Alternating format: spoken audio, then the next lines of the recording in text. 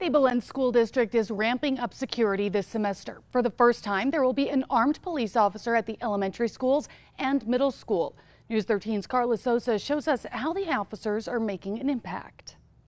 With school safety becoming more of a priority across the country, Officer Kiana Garcia is now making her rounds at Belen Middle School as one of the new school resource officers. This is the first year Belen Consolidated Schools will have three resource officers throughout their schools. The Belen Police Department was able to fund one.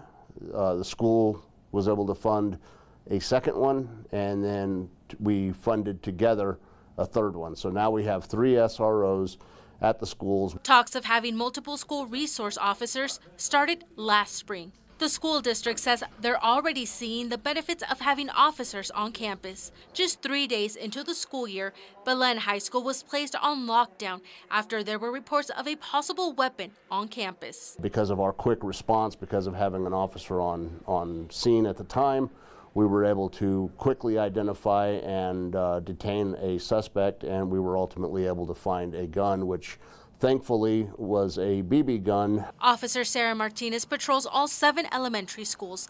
She says she wanted to be part of the solution, keeping students safe, and now she's even getting feedback from her son. I get to interact with him and um, get to get his feedback of how he feels and his friends, and it's nice because I, I build those friendships all of the three new school resource officers went through a week training in Albuquerque. That instruction was specific to the dangers officers may face while being on school property. That training preps you to interview kids if needed, like if they want to come and talk to you about a crime or if you start noticing behavioral changes. The cost for one officer was about $150,000.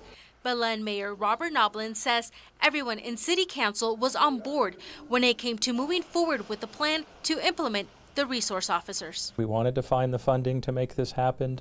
Uh, to, um, it's always in the forefront of our minds to, to put the community first and, and our students first. Carla Sosa, KRQE, News 13.